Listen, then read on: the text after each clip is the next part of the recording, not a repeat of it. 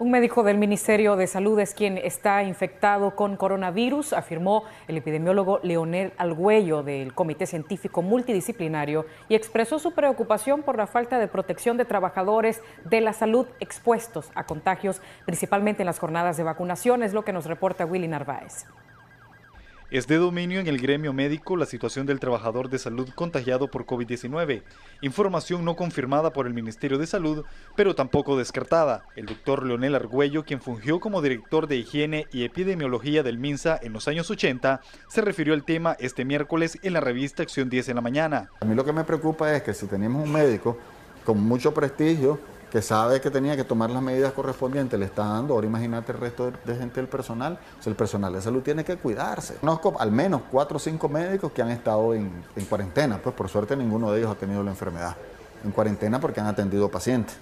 ¿verdad? Esa es la única información que yo tengo que puedo dar fe. El doctor José Luis Borgen de la Unidad Médica Nicaragüense incluso afirma que son dos los trabajadores del sistema de salud los contagiados. Son dos médicos, uno es especialista y la otra es salubrista, entiendo yo, que estuvieron atendiendo en contacto con pacientes de coronavirus en Alberta Calderón y que son positivos para coronavirus.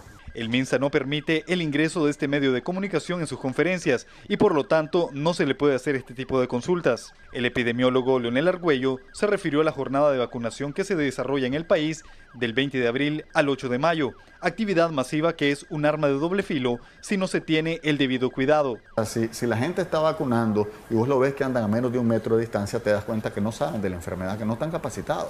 Porque no es que soy yo el que lo estoy inventando, es que es, que es el mundo entero, es que son los científicos, son la gente que sabe mucho más. A mí lo que me preocupa es que el trabajador de salud anda bailando, anda feliz, anda haciendo jornada de vacunación, muy bien, muy contento, ¿verdad? Pero mi preocupación es que se están transmitiendo la enfermedad entre ellos y se la están transmitiendo a los pacientes. El 3 de abril Nicaragua recibió 300.000 mascarillas donadas por Taiwán. Sin embargo, el personal médico sale a las calles sin protección alguna. ¿verdad? En las fotografías que salen no se observa de que estén tomando las medidas adecuadas. Se mira cuando están vacunando, pero no se mira que se estén limpiando las manos antes. Entonces la verdad es que no se está cumpliendo con las normativas de la Organización Mundial de la Salud, que son básicas y que son elementales.